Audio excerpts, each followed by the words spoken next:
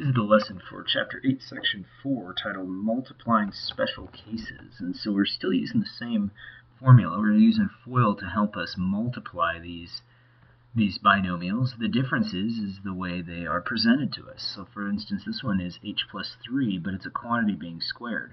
Now the typical mistake is people think, oh, okay, I'm supposed to multiply the exponents because I have an outside exponent. But that's not what we're dealing with here. See, Order of operations says we have to do work inside the parentheses. Now, if everything was being multiplied, then we could go ahead and distribute the exponent on the outside by the exponents inside. But in this case, we can't do that because of the addition. And so it says that we have to add h and 3 before we can take the exponent.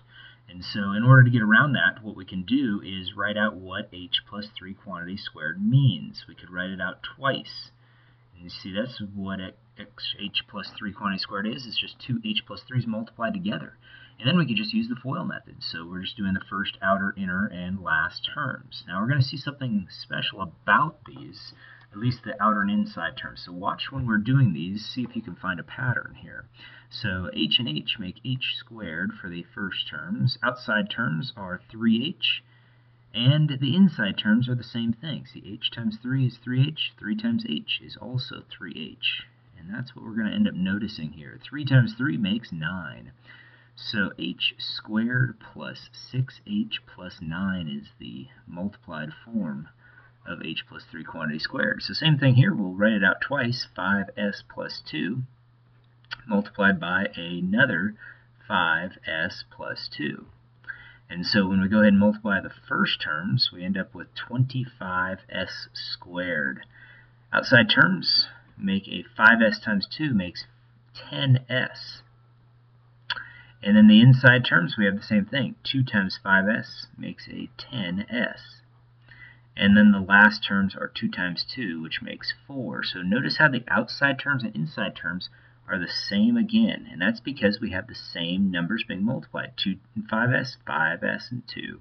So our final answer is 25s squared plus 20s plus 4. So we're going to see the, see the same thing, but the difference here is we have minus signs instead of a plus sign, so let's see what happens. So n minus 4 and another n minus 4. And so I'm going to do the same thing. I have my first, outer, inner, and last terms. And so my first terms are n times n makes n squared. My outside terms are now an n times a negative 4n, so makes a minus 4n. Same thing here, negative 4 times n makes another minus 4n. In the last terms, negative 4 and negative 4 make positive 16. So this time when we collect, instead of being a positive number, it's a negative number. Minus 8n is what we get when we collect those two terms. But n squared minus 8n plus 16 is our answer. So in this one, 4m minus 2 and another 4m minus 2. And so when we go ahead and multiply the first terms, we end up with 16m squared. Outside terms make a negative 8m. Inside terms, they make another negative 8m. And that's what we're going to see every single time. Last terms are two negatives make a positive. So we have 16m squared minus 16m plus 4. So let's recap what's going on here. So when we've got a quantity being squared, the outer and inner terms are always the same. That's what we're going to see here. 3h and 3h, 10s, 10s, negative 8m, negative 8m, negative 4n, negative 4n. So if that's the case, the first terms are always a perfect square. The last terms are always going to be a perfect square because we're multiplying the same numbers because they are the same values. See 5s and 5s, 2 and 2 see 4m and 4m, negative 2, negative 2. So the first and last terms are always perfect squares. So this is going to be a perfect square. And then we're going to have another perfect square on this side, right over here. These two are always going to end up being perfect squares. Now this term right here is always double the outside or inside term because the outside and inside terms are the same. So we could say double double the outside or inside terms. So either one, because these are the same. These are always going to end up being the same with the quantity being squared. And so if you notice that you're always multiplying the 2 by the 5s or the 5s by the 2. So if you double this product of these two numbers, you'll get your outside-inside terms combined together. So that's something you should watch for when you're multiplying quantities squared. So let's take a look at some other types of problems that we'll see. Here we just have a situation where we're trying to find the shaded region. And when we do that, we just have to take the large box, large square, and we are going to subtract the small square. And so our large one is x plus 2, but another x plus 2. And then we're subtracting out the x minus 1 and the x minus 1. So we go ahead and do some work. For this one here, it's going to be x squared plus, and then it's going to be an 2x and another 2x. That's going to make 4x, and then 2 times 2 makes 4.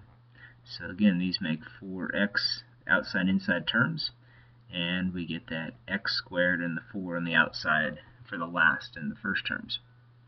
So for this one, we have x squared for the first terms, and then a minus 1x and another minus 1x, and then a plus 1. So the last terms are always going to make a positive. Same thing with the first terms when it's a quantity squared, because they're either two negatives or two positives being combined. So this makes x squared minus 2x plus 1. So we're taking this expression away from the first. Now when we do that, put parentheses around it, we're going to add the opposite. so it's going to switch all the signs and then we'll go ahead and collect. So x squared minus x squared, those cancel each other out. And then the 4x plus 2x makes 6x. The 4 and the negative 1 make a, a positive 3. And these are units squared. And so this is expression, so I'll put it in a set of parentheses since it's a polynomial. Now in these, this is called a difference and sum. And actually, I'm going to switch those terms around. I'm going to call it a sum and difference. Sum and difference. So it's a sum because two numbers are being added together. It's a difference because then they're being subtracted. And so when we have a sum and a difference, we're going to notice something about all of these sums and differences. So let's take a look at the FOIL method. And so I'll take the first terms, make z squared.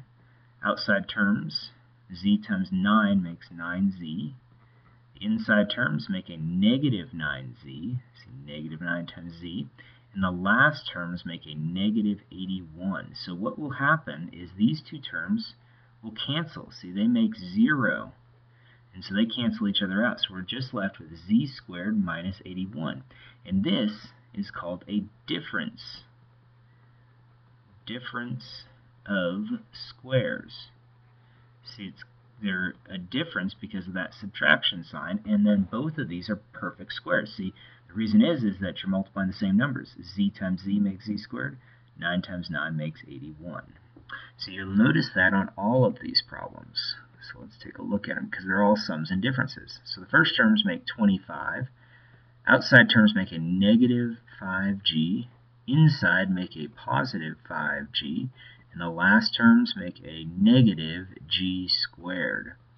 And so negative because the positive and the negative. So these two terms, again, they're opposite signs. They're the same number. They make 0. So we're left with this, 25 minus g squared. That's in descending order, so if I want to put it in standard form, it would be negative g squared plus 25. So either way to write the answer is fine. So again, this is a difference of squares can see how we've got a perfect square and a perfect square, and we are taking the difference because there's only one negative sign. So again, you'll see that on this problem as well. So the first terms make 4c squared. Outside terms make a negative 6c. Inside make a positive 6c. And the last terms make a negative 9. So when I collect these two terms, again, you see how they make 0 make 0. They're opposite in sign, so I'm left with that difference of squares.